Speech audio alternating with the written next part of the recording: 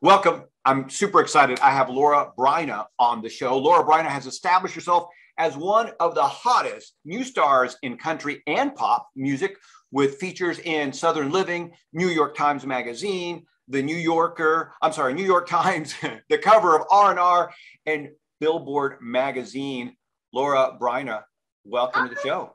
Thank you so much for having me. you bet, you bet. And and and uh, we have a little friend too. We have a little friend. This is little one. Can you a kiss? Do you want a little kiss? Or no, I'll turn my back or upside down. There, there we go. A little kiss as we go down in my sleep. as you do. Yeah, yeah.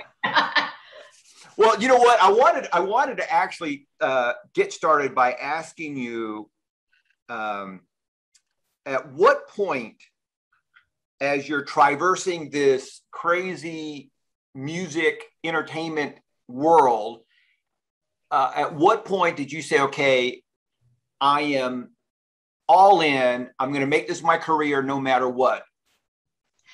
Well i'm really blessed. I have great parents that um, just just said go live your dream go do what you want to do. We, we're behind you 100% and they've done we're all a bunch of mixed marriages deaths divorces and all shenanigans so you know it's like you need salt and pepper shakers to explain how everybody got together and whatnot. But um but my parents have been really great. They always told us they were so supportive. Go live your dream whatever that may be. And i'm the one that chose to go into the crazy music industry. So so it's been a little interesting for my parents to needless to say, to say the least. But um you know, I think it really was. I know it sounds so strange, but at like, I guess when I could talk and I had my metal spoon in my hand and I'm there with my sisters in the basement singing songs and, you know, we're doing backup dancing and all this stuff and charging my parents 25 cents a show. I think they saw the show like four times a day. We had our jukebox downstairs listening to oldies, which you know, that's why the oldies but goodies, they stand the test of time. I would have been so great in a poodle skirt had I been in that time. My dad always says, he was like, you know, Laura, he's like, you really were born at the wrong time. And I was like, yeah. um, but so it really was that kind of moment. I, even if it was just touching my parents' hearts or making them smile or laugh or whatever it was, it was something that I thought, hmm, maybe I should think about this. And, you know, going through and doing the school plays and doing dance classes and, and hair props, um, and uh, and doing acting and dancing and singing and all different things. You know, I'm always somebody that I always am learning. I think that's so key in this business is to learn and meet people. And so I, uh, I don't know. I just kind of knew, like, I get that bug. I've never done drugs before, but it's kind of one of those things that goes, "Hi, Laura, you want me? Come get me." No, no, no, no. And so I was like, "Okay." but yet, like, you know, and then there's times where it's like a good country song, you know, it like she'll break your heart, but then she'll build you right back up again. And and then you're like, oh, but maybe, oh, ah, e. And like there's times where you definitely have those moments you're like, why am I doing this? Oh my God. and like my poor parents heard the same story, like all over, all the time, all over whatever. And then they're like, but Laura, you can. And it's like, you're like the little engine that could. You're like, I can do it. I think I can. I think I can. And, but, uh, you know, I, uh, I've been really blessed and really lucky. I've, you know, just kind of absorbed the whole thing and I've kind of been a sponge and I just love learning is really what it is. So that was a long and drawn out answer. Sorry, Bert. no, it's okay. Well, I like the fact that that you kind of put everything your your what do you call it your career experience under I love learning. That's a great attitude, and, and yeah. you're going through this journey, and and sometimes it can be very frustrating and heartbreaking, as you mentioned, and and but it's kind of cool when you're looking at it from a pro, from a, the perspective of I love learning. Yeah, you know, I, my dad Oh, my dad passed away in April this year, so it's been a little tough. It's been one of those challenging years from a rare blood cancer. But, you know, I always have him thinking or over my shoulder in my ear saying, you know, Laura, he's like, I never wanted you to go through something horrible or or be sad or be heartbroken. But you really can't sing about you can't really sing about songs that have heartbreak or a blues song, which as you can see, I love the blues um, or a jazz tune or a sad country song without having gone through something. And that's when you really feel it. And so, Daddy, I definitely, uh, we've had our moments, you know, like going through the tough times. Um, but uh, but been really lucky, uh, and I've had some great teachers too that have said, you know, especially one um, who has also passed away now from a kidney disease, but he said, you know, he's like, Laura, I never want you to say no to an opportunity. I always want you to say yes. Put on that pot of coffee, which I don't drink coffee because if you think I talk fast now, you think I'm gonna talk really fast now. I talk even worse. But um, says you put on that pot of coffee and you stay up all night and you learn the part, you learn the song, whatever it may be. And that's always, you know, I, I always say always learn. You never and and always meet people. You can sleep at another time. You know, right. there's always there's always someone to meet and network and know and and you never know who the little guy is going to turn out to be, which is so like, to me it's all about learning. I uh there was I I don't know if you watch reality television, but I was up for um um, a part on a show on, in reality TV, and they wanted me to come in and be something that I'm not, so to speak. But um, like they wanted me to come in late. They wanted me to be like, eh, I don't like this and I don't like that, you know. And it's just like you sit there and you're like, but that's not what it is. But the person who was the assistant, who was actually the water, when got water for all the different actors, is now the head of a production company, a big production company. So you just never know what who someone's going to turn out to be, and always right. be and you know always give a hand helping hand too i think well, right no and i and, and back to the re- the reality show part i think it was uh courageous. I think it was uh, uh, great to to set that standard or those boundaries or whatever you want to call it and say you know that's not who i am. Right. Because reality show if it gets picked up and it becomes a hit then people really don't understand that reality shows aren't really reality. They're they're they they may not be scripted as some other shows are, but you know, people are playing parts, and all of a sudden they're going to say, "Well, this Laura person is." You know, she's seems to be a high maintenance type person, and and you know, and all of a sudden, I don't know, it could damage it could, it could damage more than it could help. Yeah, there's I mean, there's different ways. Yeah, for sure, there's different ways to look at it, but it, it's like you just never know what who someone's going to turn out to be for sure. And so, you know, always be nice and always lend a helping hand and that kind of thing. But right, Yeah. there was a little bit of nudity in it too. So it's kind of like, you know, I don't need to put my dad in a, in a hospital again. So let's not do that. So anyway, moving on.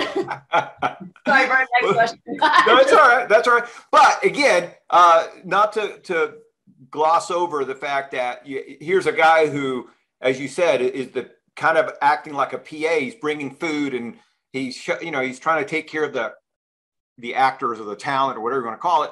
And then before you know it, he's a head of a giant production company. Right. And to your point, we we all have to treat each other like we matter because we all matter. Exactly. We do. Yep. And eh, there there are people in Hollywood that get a reputation of being hard to work with and you'll see that their star will fade a little bit quicker or you'll you'll hear less about them because you know bottom line is if you're a difficult person to get along with you better be super incredibly talented because we're all replaceable. Or you know everybody's sitting there talking about them so you know. What bubble let's do about no, i'm just kidding. Sorry, there's feathers flying as as yeah, so you see something collide across, across the um, camera. I'm sorry then. All right. Where the fur flies, I guess. Yeah. All right. So look, okay. So I want to. Uh, your first big hit, uh, they call it your breakout hit, and you correct me if I'm wrong, but your breakout hit was uh, "Hometown Heroes," and, and this yes. was this was a, a colossal hit.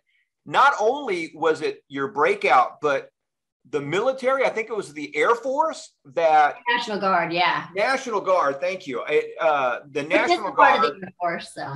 What's that? Which is a part of the Air Force. It is, but but uh, bottom line, National Guard picked it up. they made it like their song and they made and they wanted you to be the spokesperson that talk about this because that's got to be one of those unexpected i don't even know what you call it unexpected surprises from just doing what you love to do and all of a sudden bam bam bam right absolutely no you know and that's kind of where i use that whole like life is and your career or whatever is like a tree because it's like you have to be prepared for the next branch to come off.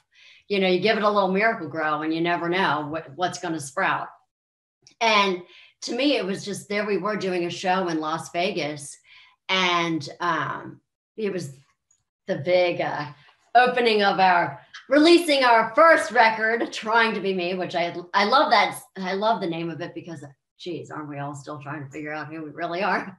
Um, so I love that record because it has so many different uh, avenues of life and just different thing challenges that we come across. And and one of the songs on there was 640 Battlefield Drive, which there is a battlefield drive in uh, Nashville, Tennessee, and you know there's been different wars fought there and whatnot, but um, in Nashville, but I uh, I've always loved the military. I've had family members in the military, and you know I wouldn't be here talking with you today if it wasn't for them being able to live in freedom, pursue our dreams, and I mean these families give it, you know, and that's the one thing too that a lot of people don't understand. It's not just the one person in the family that gives; it's the whole family that gives. You know, they all make sacrifices, and it's twenty four seven 365 days a year. And, and so from that show, uh, there were some gentlemen there watching and to my knowledge, they were like, that's who we want to represent us in our advertising campaign. And I was like. I'm like, just here I am, little Laura from Mount Airy, Maryland. Okay, great. I mean, it was a really big responsibility and such a, I mean, such an honor. And I have my flag here, which I flew with me, I flew in an F 16. My call sign is Lil Thunder. Mm-hmm. I pulled nine G's. I didn't throw up. Um, went Mach 1, which I guess I can say now. Um, I think we flew over Mexico, but. um, but yeah, I, you know, I love the military, everything they stand for. And, you know, that song debuted on Monday Night Football. It was really one of those cool pinch you moments, as I like right. to say. And I got to sing at the uh, Pittsburgh Steelers game, and and you know was on this uh, was on the field with a veteran from every war that we had fought in. Like Jessica Lynch was there. I mean, wow. World War II veteran, all the way. It was just really really amazing, and um, and of course, whenever I sing the national anthem, they'll have a plane fly over. I mean, it's really unbelievable, and I I mean I sang it. Um, I, you really get the esprit de corps. And i and i've become very close um, with so many of them. And i i've gone to their children's graduations. I've got one of the colonels who um, who passed away several years ago. Um, i went to his retirement ceremony. I sang at his funeral um, and oh i I love this man, um, and I love his wife. I continued our friendship, and so I, I've really made some wonderful uh, relationships with the men and women in the Air National Guard. And, and I continue, I, I, love my work with the military. I do lots with Folds of Honor and, and uh, Homes for Our Troops, Wounded Warrior Project. I love to give back. And that was something that was important to my parents growing up is that we always, that we should always give back and help those less fortunate or spread the word of what these wonderful men and women are doing every day. And that's really what this was. It was a coming out party for the Air National Guard to let people know that they're everywhere. You just don't realize it. And and they're not looking for a thank you. They're not looking for a handout. They're not looking for any of that. But it was my job to let them let people know you know what? These are heroes and they're everywhere. They're you know they're at hurricane relief but yet they're over in afghanistan right now so it's just a whole bunch of heroes all around i just right feel really lucky to be a part of it yeah that's got to be cool because again it's you weren't expecting it. it it's a, and it is a great song.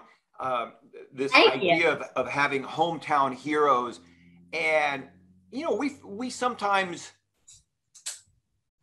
I don't know, we we take for granted our hometown heroes. I mean, you know, there there is this what's the word I'm looking for? There's this uh, thought that a hero is this you know larger than life individual and, and, of course a lot of them are and, and you, you watch these movie these marvel movies and those are cool you know but i think that we forget that a hometown hero is not only the men and women who serve our country but it's also the moms and the dads that you know that raise their kids to be good citizens. And when i say good citizens productive people that that know mm-hmm. how to you know set a goal reach a goal they, they're they're they're fulfilling their purpose. I think that's that's a hometown hero right there. And we forget that every day we have m- millions of good people doing the best that they can. And we just forget until until you run into somebody who just does a bad job whether you know it's a clerk at a government facility or a server or uh, a, you know just just a run of the mill person who just hates their job and hates their life and or maybe they're having a bad day but you know you get somebody who does an incredibly poor job and it helps you to realize how fortunate we are to have people who love what they do and right. do a good job Absolutely. And I think you're so right when you talk about moms and dads doing that and raising responsible citizens and and teachers and and you know the from I mean even I remember writing the liner notes in that record for trying to be me and to me I took I think I took maybe a month and a half to write the liner wow. note in that um, in the jacket because I wanted everybody to know that there is no me and Laura Bryna. There, there's a whole group of people, a whole team that goes behind, uh, you know, behind me and and around me. It's not behind me. We're all together. We're one team. I just happen to be the face. Um, but I wouldn't be able to do what I do if it wasn't for all of them. And I wanted to make sure that every person who brought me water, the bus driver, the guitar, uh, the guitar tech, everybody is responsible for making this record happen. And I I always am appreciative of those who who help and and make this dream a success. Yes, absolutely. I think again, you know, it's one of those things. I've seen it with my kids. Uh, so I'm blessed to have five kids, and and and you see it when I say I see it with my kids. They when they hit those teenage years, those horrible, horrible teenage years. Wait, how, what's the age range? Uh, well, now they're my, my, babies. I have a set of twins who are 20, and then and then from there it goes from let's see, 20, 27, 30, and 33. Oh my God, your house must have been so crazy. I mean, we're, we're five too, but we're all like from all over the place. But right. And that was nutty. So yours must have been really nutty. it was. It was crazy. Now, I was fortunate to have two boys and three girls. I learned so much from my girls uh, about about how girls think and oh and, yeah and, and it was what a thrill that was it was like oh wow that's why you guys do that it was just that's why what was it venus and mars you know mm-hmm. yeah yes, exactly. that's the clue in right there yeah all right so let me ask you this all right so uh, you know, uh, you did. I, I don't know if I'm using the right term, but you kind of, for a while there, you were all in country, and then you had, the, then you kind of did this crossover into pop music. Talk about that uh, and, and how difficult or how easy that was. Sure. Yeah. You know, I love music in general, and I love where we're at with music. I think it's really neat to see whether it's your computer, your iPod, your iPad, whatever, whatever you're listening to music on nowadays. Um, you know, nobody's listening to one style of music. Everybody's listening to all different kinds of things. And it was interesting. I was at um, a Jason Aldean concert this weekend, which uh, I've been very lucky. I got to perform with him and and Tim McGraw, and up in Boston, I think it was. And so just to see his show again, and right before he came on, he had a couple other acts come on, Hardy and Lainey Wilson and John Morgan, phenomenal. All of them were just fantastic. Sound guy was amazing. I'm like, yo, come join us. Anyway, um, but before Jason Aldean came on, um, they were talking. They were playing. They had he had a DJ that was playing. He was talking, and then he was also playing all different styles of music, and everybody in the audience knew it. like it was they would they would know the song from usher then they would know this country song from fancy like and then they'd play like it was all over the place so you see that everybody's listening to all different kinds of music and then it, to me it's like we're all morphing we're all you know we've got influences if you didn't have influences where at you know um, so we're all listening to different styles of music and for me it was kind of like okay, what does Laura Bryna want to say next? And um, one of the members on our team was like, hey, you know what? You should really talk to Damon Sharp. He's a really great producer, really cool, does like the pop thing, but you know, knows knows your country stuff, but yet can maybe bring a little EDM, which he's having a great doing a great job in uh, the electric dance music. My God, he's DJing, he's doing everything. And the thing with Damon too is what's amazing is that he's been an artist too. He's a producer, he's a musician.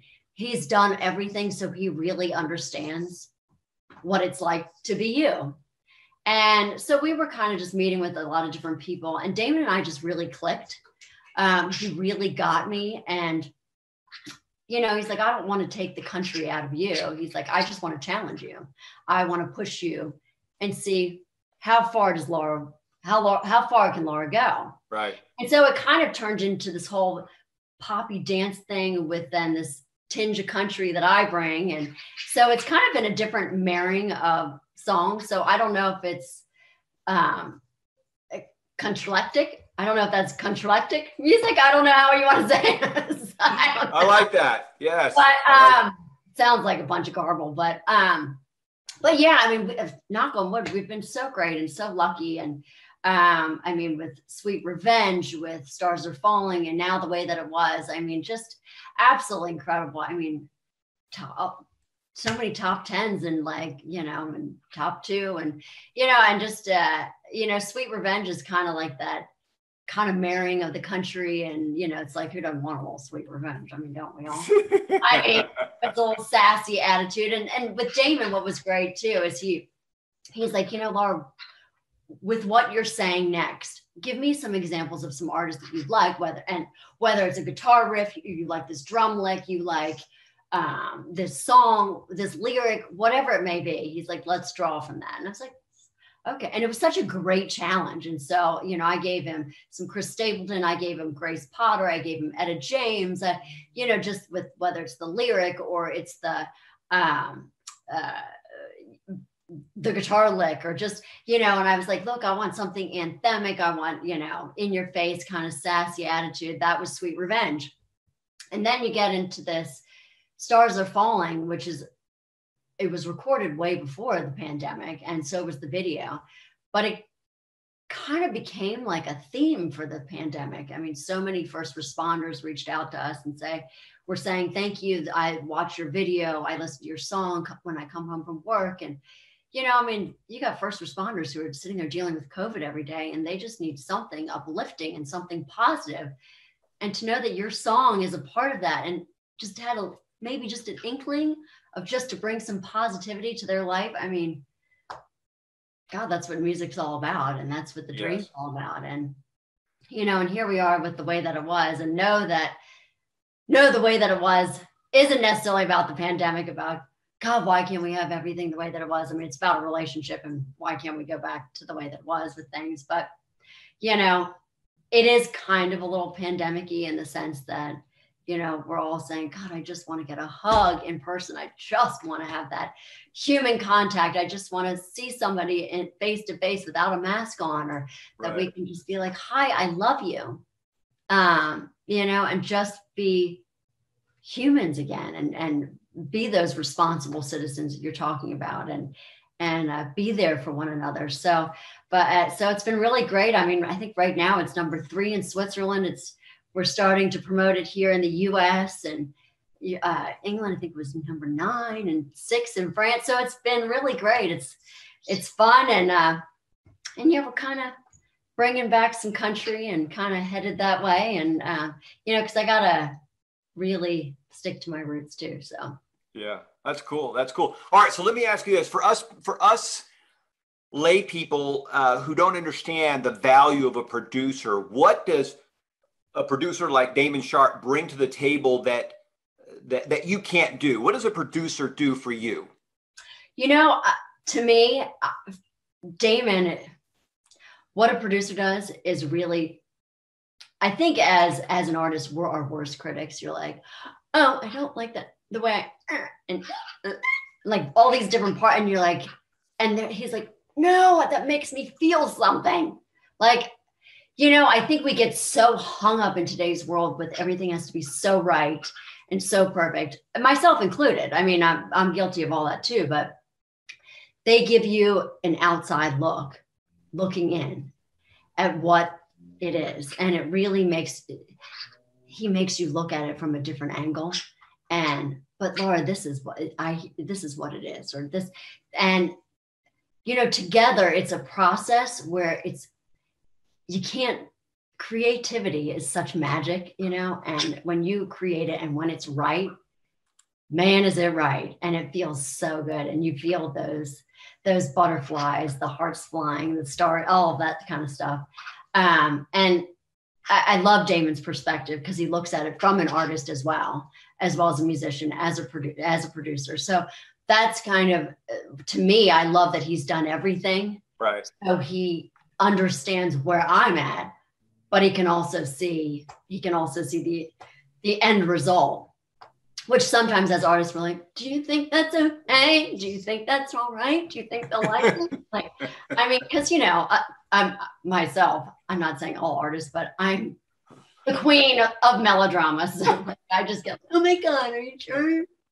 And it really is. It's like standing out in the middle of the street, and you're like, okay, does her left boob hang too low? I mean, it's kind of you're just naked there, and you're kind of like, do you think people are going to like it? I mean, it is. You're just right. putting yourself out there completely naked. Yeah. Well, it, it, again, music, like acting, like uh, writing a book or an article, you're right. You're putting yourself out there. Uh, some people are going to love it. Some people are going to hate it. Right. Some people are going to say some nice things. Some people are going to say some bad things or mean things. Uh, but you're right. You're putting it. You're, you are putting yourself out there. It becomes a personal thing. Uh, but that is part of playing big. you know, yeah, exactly. That's part of the magic too. Uh, it's part of the magic, and and you know, you figure that eighty percent of the world will hide their talents. They won't play big because they don't want to hear the criticism. They don't have like-minded people supporting them and saying, "Go for it and go for it." Uh, you know the oh my gosh, what, what um, I forgot her name now, but she so um, Kathy, I believe is her first name. See if I get her last name. But so bottom line is she was the lady behind the Twilight series.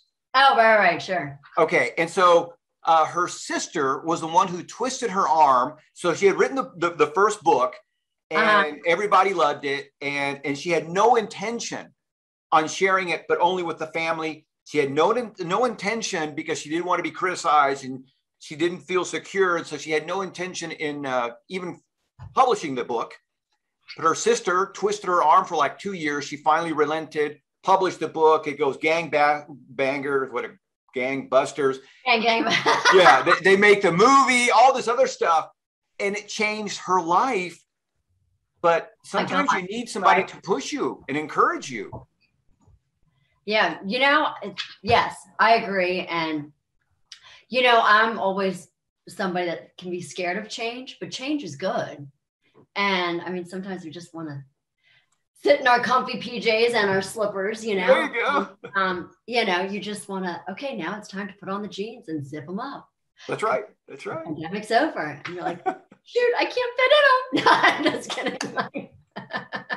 well, you know what? I mean, in what you said about change, change is good. And we all, if, if you again want to play big, if you want to be fulfilled, if you want to have a life worth living, it is all about change. And you don't have to change as much as, um, you know, uh, Bruce Jenner. You don't have to do that, but, you know, change. Oh, God. all right. But change is good. Change is good. oh, dear God. But, you know, I, the thing is, is with change, I mean, even though, I mean, like I get back to the branches that we were talking about. That's so something. The branches. Um, you know, I with being in LA, you know, and, and not that it can't happen other places too, I I kind of found different opportunities and things that I didn't know I could do or would do or had to do, you know? So, I mean, I like from writing, I, I, I uh, wrote a children's book about my birds. kind of oh, fun. cool. It's got the plastic on it. Sorry, but no, uh, I love it. Sexy bear, but but you know, like you don't know. I've done you know some. I've hosted some television things and some radio stuff. It, but I think like, but that's change and that's good. You yeah. know, I so I'm pushing myself too. But I I I uh, it is a little nerve wracking. You know, it to is. come out to Los Angeles too to to pursue the dream further was really nerve wracking too. I, you know, you're just, oh my God, LA, little Laura from Mount Airy, Maryland. And, you know, you have all these beautiful people and all these things. And I remember sitting in bed with my parents and my mom saying to me, she's like, Laura, you know, when you go out to Los Angeles, she's like, be you. She's like, don't let that, don't let LA change you and make you into something else. Right. She's like, there's always going to be somebody prettier. There's always going to be someone fatter, thinner, wealthy, whatever it may be, you know. And she's like, you go there and you keep that smile and and, and you, take on the challenge. And so that's what I did. And it's been really, it's been great. It's been, it has been challenging. I've learned a lot about myself and things that I didn't know I could do. Um, but I, it, it really is all about learning and, and, and going, going through the change, you know, um, no, I'm not even close to that. But anyway, but you know, dear God, dear God. Um, but yeah. So. Oh, sorry, Bert. Uh, this is the kind of show. Anyway, I'm moving. on. It's all right. Good. All right. So let me ask you this. Uh, so, so when you are when you are again, you're putting the song together, uh, "Hometown Heroes," uh, the way that it was, um, "Sweet Revenge." When you are recording these songs are you in the back of your mind saying, "Oh man, this is a hit. This is awesome." I'm you're you're are you feeling the energy or is it just you you put it out there and hope for the best? Um I like to think I I, I know, but um, but I do get excited. I'm like, oh my God, I think this is amazing. But if somebody doesn't, oh my God, what am I gonna do? But I mean, you definitely go through a whole roller coaster of things. I mean, you know, it's definitely, oh my God, you know, definitely all over the place. You definitely go through a, a crazy amount of emotions, especially when it's getting ready to be released. Right. When it's when you're finishing it and putting on the it's being mixed, it's being mastered, you're putting on the little guitar licks and na na na na na. na. That's the that's amazing. It's fun, and you're just like, oh, it feels so good. And then when you when they're like, okay, we're gonna release it tomorrow, you're like, oh. I mean, you're like, okay. Do you sleep well the night before? Um, um, um not exactly. I mean, you got um, you got to watch some reruns of some Friends episodes. Got to read some like the newspaper and try and go to sleep or something, you know.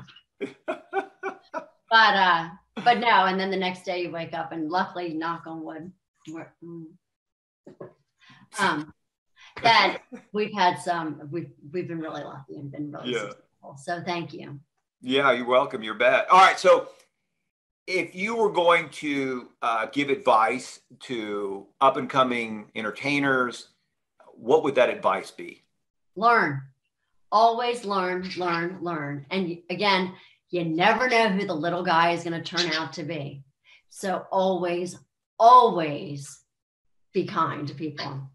And you know what? The other thing is, is in the way of the world that it is now, you got to stay on top of your social media because especially during a pandemic, that was the way that we could communicate with our i don't call them fans we're called i call everybody the Bryniacs. actually they actually i think sanders um, came up with the name so uh, he has coined the phrase of we are the Bryniacs.